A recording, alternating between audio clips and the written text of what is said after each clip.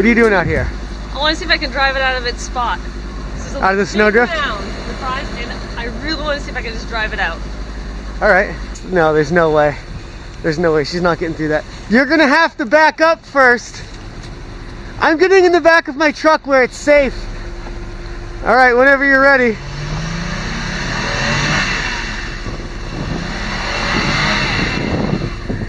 Nope, reverse.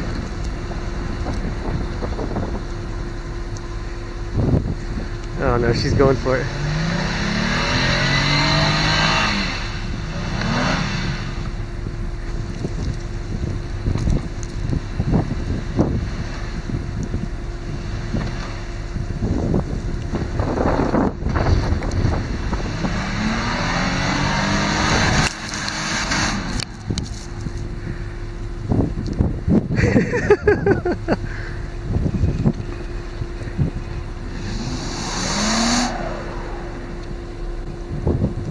Hazard lights are on. you want to see if my truck will do it? Yeah, obviously.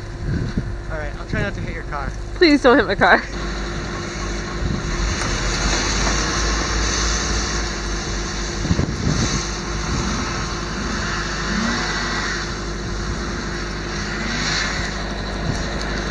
Yeah, I think he wins.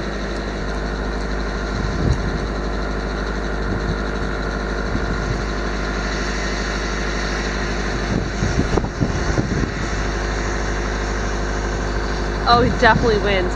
Busted right through the bank at the end. I just made a mess.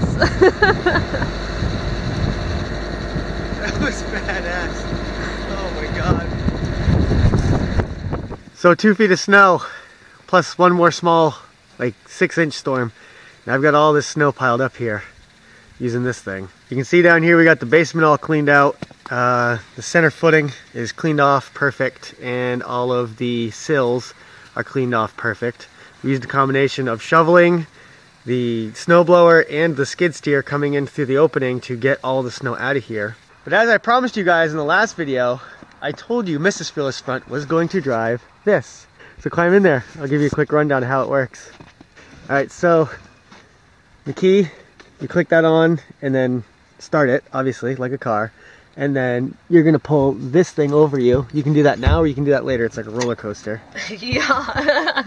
This one controls your motion. So forward, backwards, left, right, and it all, it's very intuitive. Okay. And this one's your bucket. I just started Turn here. the key on, start it, and then when you actually, when you want to actually start driving, there's a green button up here that says push to operate. Once you push that, the joysticks are active. Okay. There's also a gas pedal down here by your foot. Okay. If you rev that up, it'll make you go a little bit faster and give you a little bit more power. Okay. Good luck! Yay. Please don't kill me! No guarantees.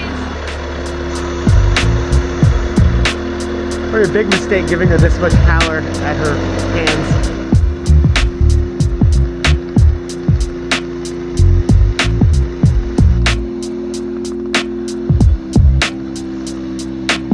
I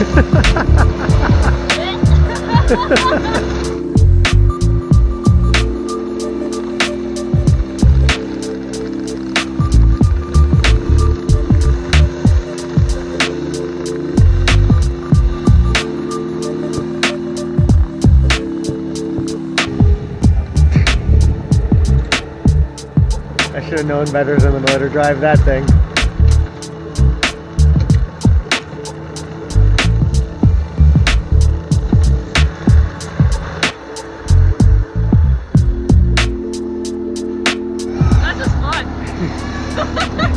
So can we get one?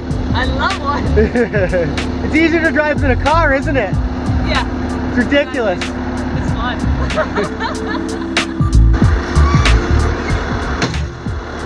Just like that.